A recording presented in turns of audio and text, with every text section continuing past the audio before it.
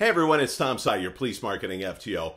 And here is another edition of Get to Know Your FTO, where I share some random facts about me, my career, my family, or my business so you can get to know me a whole lot better and finally figure out why I am the way that I am.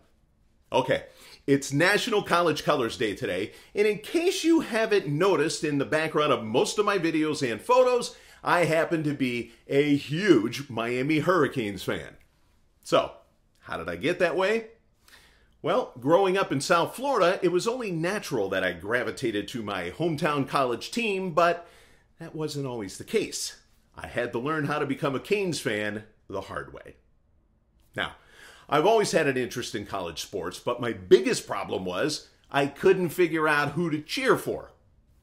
Here's me cheering on the Pitt Panthers with Santa. Now I'm a Penn State fan. Went through a Georgetown Hoyas era.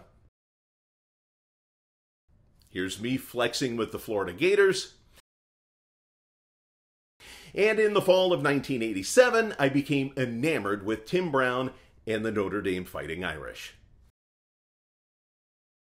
This is where my college color story takes a big turn. You see, that November, Notre Dame visited Miami in what was supposed to be a really close battle of two highly rated college football teams. And my dad, who was a big Canes fan, got us tickets to the game. As a rambunctious 14 year old, the only thing cooler than seeing my favorite team at the time was going against my dad's favorite team. And believe you me, I let him know about it all week long heading into the game.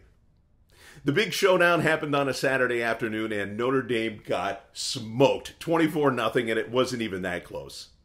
My dad, of course, let me know about it the whole rest of the weekend, and I decided, you know what? It's a lot easier cheering with my dad than against him.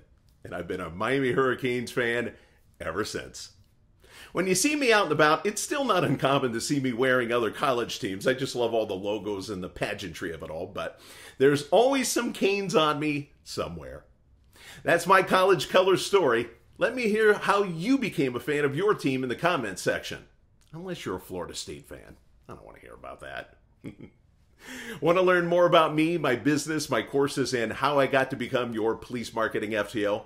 Check out my website at forcopstraining.com.